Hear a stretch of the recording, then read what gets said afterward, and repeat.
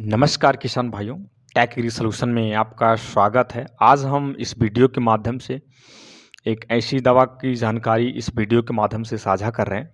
जो भी हमारे किसान भाई मिर्च की खेती करते हैं, उनके लिए यह दवा बहुत फ़ायदेमंद हो सकती है। किसान भाइयों, यह दवा बाशफ कंपनी की एक्सपोनस नाम से आती है। अगर हम बात इसके टेक्निकल की करते हैं तो इसमें जो दवा है ब्रोफेनोलाइड तीन सौ जी में दवा आती है।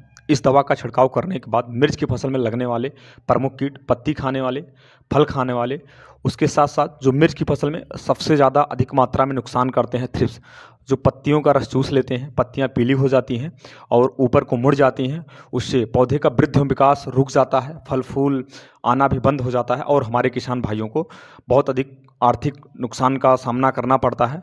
क्योंकि उनका उत्पादन एकदम कम हो जाता है। हमारे किसान भाई इस कीट से नियंत्रण के लिए अलग अलग लाकर दवा दो बार में छिड़काव करते हैं, जिससे समय भी अधिक लगता है। लेकिन किसान भाई, यदि आप बासप की एक्सपोनस का छिड़काव कर देते हैं तो एक ही बार में दोनों प्रकार के कीट का नियंत्रण हो जाता है।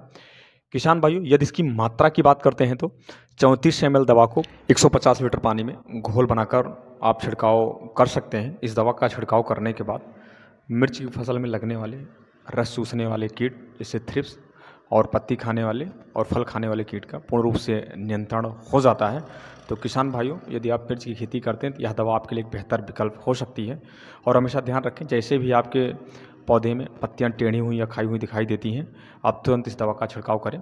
खेती से संबंधित अधिक जानकारी के लिए आप हमारे चैनल को लाइक करें।